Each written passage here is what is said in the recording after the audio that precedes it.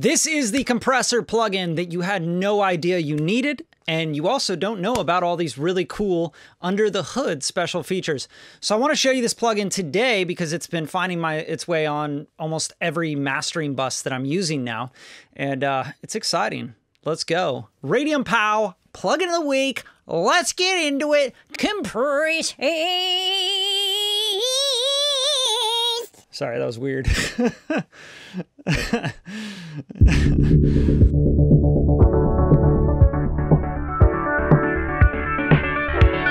All right, so this compressor looks really simple. It's the Weiss compressor limiter. Um, it was actually programmed and put out by Softube. But the coolest part about this Weiss compressor is you can actually get the analog, because it's actually a digital this Weiss is a digital unit, right? But you can get the analog rack mounted version of this, and it's going to cost you seven, eight thousand dollars, right? So you can find this in mastering studios around the world. Um, a lot of mixing engineers now using it. I'm using it on my master bus, but why am I using it on my master bus? That's what you want to know, right? First, you got to hit that like button. it's a little trick I learned from all these YouTubers. Got to smash the like button, then I'm going to show you, all right? Uh, this compressor is super dope, and I'm finding that it's actually like replacing a lot of my SSL compressors I would have on here. The Townhouse compressor by BX Digital or the SSL from Waves or UAD, etc. Um, and this kind of is way more powerful. And I'll show you a couple things that make it super powerful because it took me a while to figure out these things, but everything's under the hood. So let's look at the, the GUI, GUI kind of vibe first.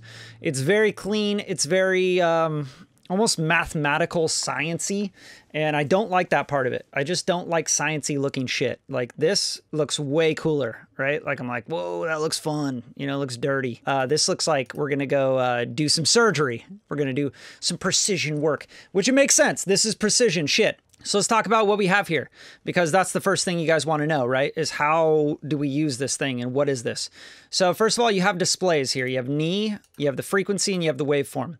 You can get rid of the knee, put it in or out. That's just showing you how hard it's compressing, meaning when you go here, you have a really soft knee, which means it takes more time to hit the compressor, um, or you can go really hard where once it hits the threshold, it's going to compress. It's going to limit. That's limit hard knee, right? Or soft knee. I like kind of in the middle. I like this a softer knee on masters, depending on how fast the track is, etc. Um, you want to mess with your knee, right? I'm not going to talk about compression here. I'm just going to talk about this limiter and uh, the different variations of it, like what it does. Okay, so knee you got frequency. This is going to show you all your frequencies. Now, this is a very important window, and we'll get into that in a bit here and why this is probably the most powerful window in this whole thing that I just literally didn't even think about. All right. Okay, so that's your frequency. Then this is your waveform. This is going to show the waveform plane. You can do look ahead processing so it can show it and it shows your compression happening on the waveform, i.e., I'll show you what that looks like right now as we play this track, this new unreleased track from Bradley Denniston.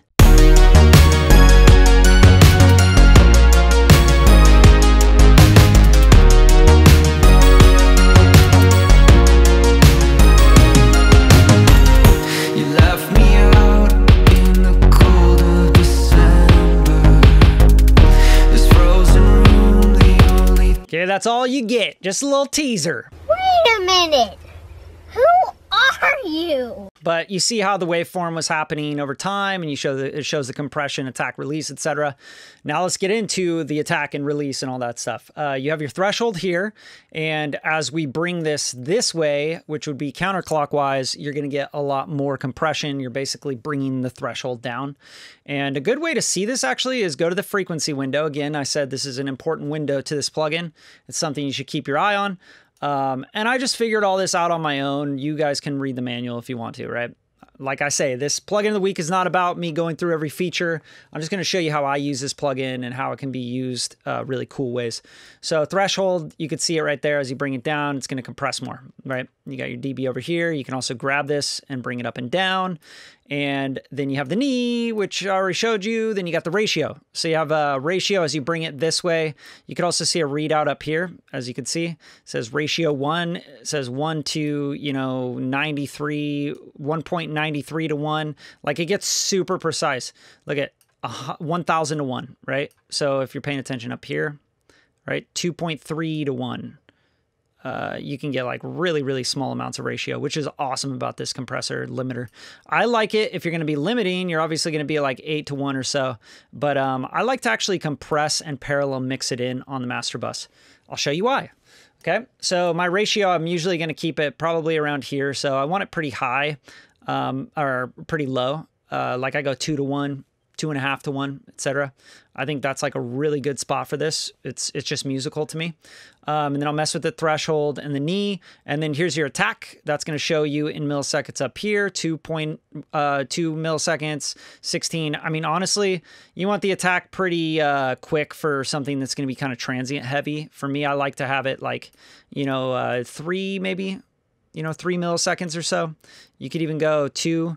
Um, but this is this is like you know you can go all the way up to 600 let's see 800 milliseconds. So that's it's pretty long.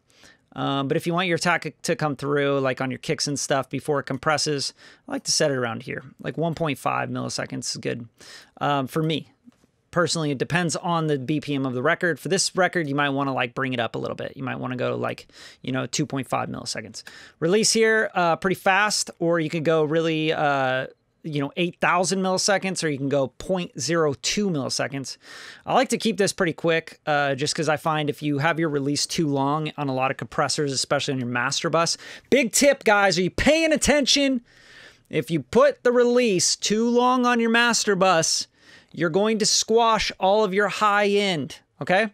Um, if you get that you got to find that sweet spot on your release. So go fast enough to where your high end starts opening back up again. And you want to find that perfect zone where it's like, yeah, I'm getting that high end, but just enough, right? Like it's that warm high end. So mess around with the release as you listen to the high end, right? Super important. All right, little, little trick for you for setting your limiter. A lot of people leave your leave their limiters too long of a release because it's like in a preset or something, and uh, they fuck up their shit. All right, so parallel mix that's gonna say 100%, right? Or you can go like fully wet, or you can go halfway wet. I like to parallel it. That's just how I like to use this processor. You could use it however you want.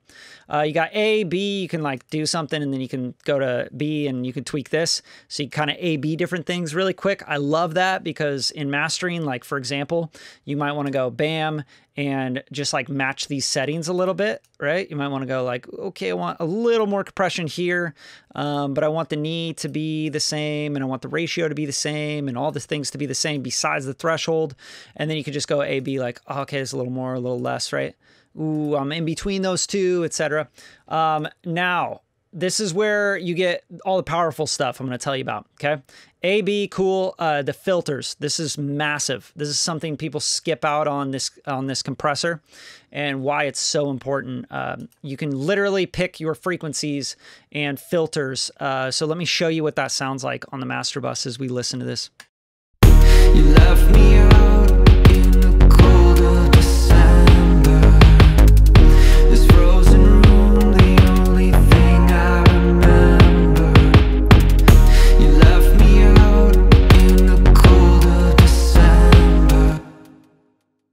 Okay, super important aspect of this is that when you start to compress on a stereo bus and you're compressing the full range, you're literally putting a limiter on, right? But sometimes you might want to just find a way to compress the mids a little bit more, like the mid range, and you want to leave out the sub information, right? So the way you do that on this plugin is you go to the bandpass filter. Uh, really, it's, you know, low pass, high pass, but then you can pick the width of it. So you can scroll down here and you could say, I want this really wide. And then you could come up here. And if you go to the very top, you can pick the frequency. So you just drag left and right. All right. So like you want to cut everything below, you know, a certain frequency, you go like, you know, down here.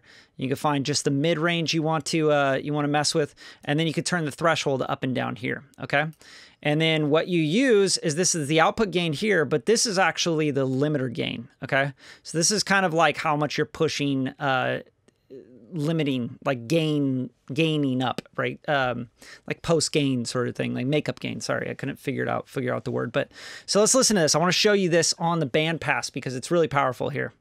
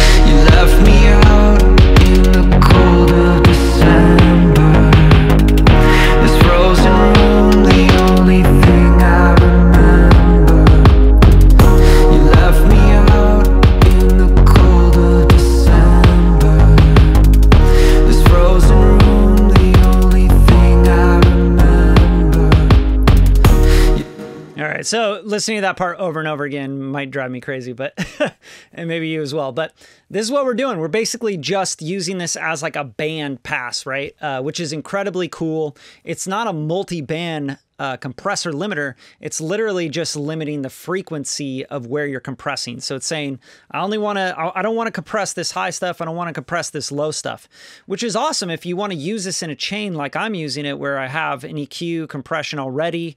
I'm just using this maybe to balance and compress more of the mid range or find the vocal area and push the vocal forward a little bit, right? Sometimes you can do that in mastering, um, or sometimes you just want to do it on your overall mix rather than having to go in and, you know, compress the vocal and then all of a sudden your whole thing like kind of falls apart, right? So that's really, really powerful. And then it also has a, a low filter, which is cool as well. So you can just compress this part, just the low end. And again, you just go to the bottom, uh, is usually going to be your frequency if you're using using this. So you can uh, do the width of the frequency. Um, you go to the middle, you got your threshold, and then the top is going to be the frequency so you can bring it up and down in the scope. That's super powerful.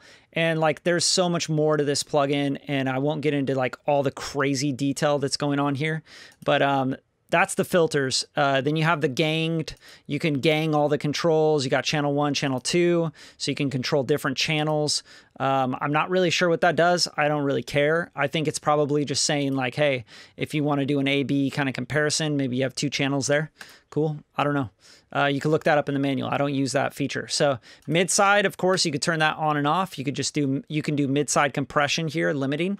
I love this plugin because you can really like tone dial in, right? And um, you could use this as a limiter, the final thing in your stage. This is a very, very expensive hardware unit. So to have it at our fingertips now for just a couple hundred bucks, two, three hundred bucks is a pretty incredible tool, right? Thanks for tuning in. That's a lot of information. Plug into the week. Uh, go out and buy this if you're an expert mastering mixing engineer and you're making money making mixes. Otherwise, hire me and I'll do it for you. All right, uh, click that link in the description and uh, let's work together. Email me. Let's see if I got some availability. Shoot me the song. I want to hear it. I'll get some shit going. Let's get it popping. Plug in the week. I'm out.